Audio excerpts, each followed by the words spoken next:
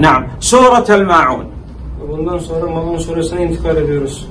أرأيت الذي يكذب بالدين يكذب بالدين الدين هنا معناه يوم الجزاء والحساب Dini yalanlayan o kimseyi gördün mü? Buradaki din kelimesiyle kastedilen şey insanların karşılığını bulacağı o gündür. Ahiret günüdür. نعم نقول في سورة الفاتحة مالك يوم الدين Biz Fatiha suresinde biliyorsunuz Maliki Yevmiddin diyoruz. أي يوم الجزاء والحساب Yani karşılık gününün sahibi diyoruz. فهناك من يكذب بهذا ب- بالبعث والنشور والجزاء والحساب Bazıları bu ceza gününü, bu karşılık gününü, bu hesap gününü yalanlıyorlar biliyorsunuz. يكفر كفر أكبر Böyle yapan bir kimsenin İslam dininden bir nasibi yoktur. فهو يكذب بالجزاء والحساب Bu kimse karşılığı ve hesabı yalan sayıyordur. وكذلك تجد هذا يدفع اليتيم بقوة Sonra da bu insanı karşısına çıkan bir yetimi de itip kakarken görürüz. من هو اليتيم Peki yetim kimdir? Bunu bir Huwa- açıklığa kavuşturalım. من مات أبوه ولم يبلغ من Yetim- مات yetim- أبوه yetim kimse, ولم يبلغ bloğun altında olan bir kimse, babası ölüp de bloğun altında olan her kimse, her kimse yetim denir. Fel asıl el ihsan lil yetim. Asıl olan şey yetime iyilik yapmak, ona ihsanda bulunmaktır. Fehâze la yuhsin ileyh. Bu kimse ona ihsan etmiyor. Ve yedfe'u bi şidde ve kuvve.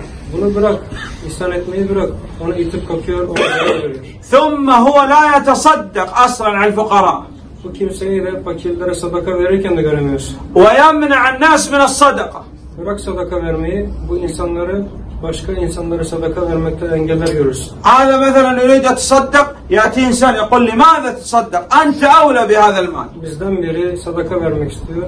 Ancak o gelip diyor ki neden veriyorsun ki bana bu maldan? Bu sadakadan neden veriyorsun diye engelliyor onu.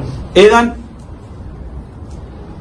التحذير من هذه الأشياء التكذيب بيوم الجزاء والحساب İnsanları bu konuda uyarmak gerekiyor. Yani ahiret gününü yalanlamak, hesap gününü yalanlamak hususunda insanları uyarmak gerekir. عدم الإحسان إلى اليتامى Yetimlere karşı ihsanda bulunmamak ile ilgili de insanları uyarmak gerekiyor. الأصل تشجيع الناس على الصدقة على البذل على العطاء على الإنفاق Asıl olan insanları infak etmeye, insanlara sadaka vermeye teşvik etmemizdir. نعم وهو لا يصلي Bu kimse namaz kılmıyor diyelim. يضيع الصلاة Ve namazı da zayi ediyor. فهم فهو عن صلاته ساهي لاهي Yani bu kimse namazı hususunda sehiv içinde, dalgınlık içerisindedir, umursamıyor namazını. ثم هو في الظاهر يعمل تراه أنه يعمل للآخرة وهو مرائي Bu insanı görüyorsun maşallah dışarıdan bakınca ahiret için çalışıyor, namazı dört dörtlük görüyorsun. يريد مدح الناس فقط.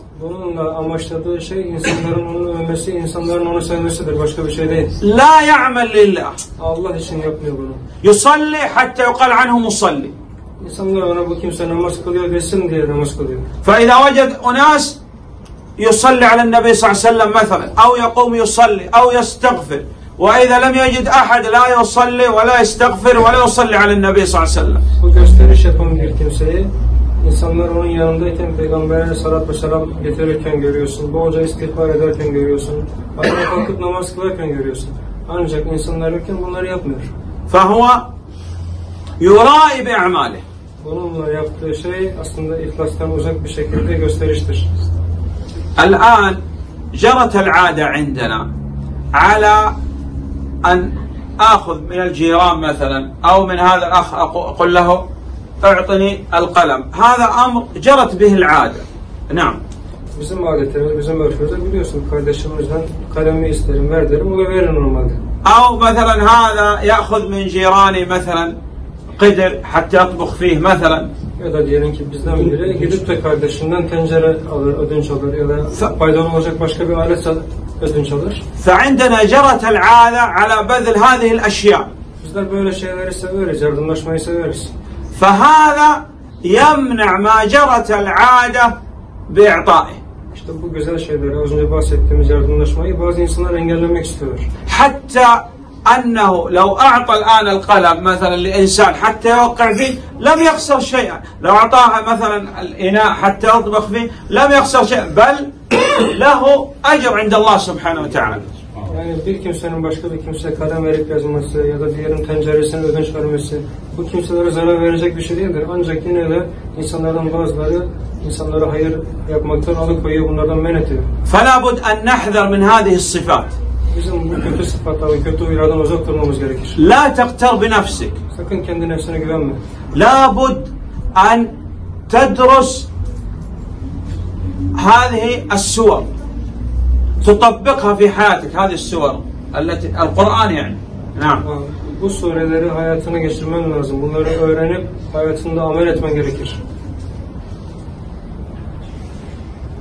نعم منها قلنا التكذيب باليوم الآخر Dedik ki ah- ahiret günü yalanlamak var burada. وعدم الإحسان إلى اليتامى Yetimlere kötü davranmak, onlara ihsan etmemek vardır. البذل والتصدق وحث الناس الناس على الصدقة Burada aslında insanları sadaka vermeye, infak etmeye teşvik etme vardır. ولا نشتغل عن الصلاة بأي شيء Bizler namazda başka bir şeyle meşgul olmamamız gerekir. مجرد ما تسمع النداء تترك كل شيء لله من ترك شيئا لله عوض الله خيرا منه Eğer sen ezanı işitiyorsan anında dünyayı arkana bırak.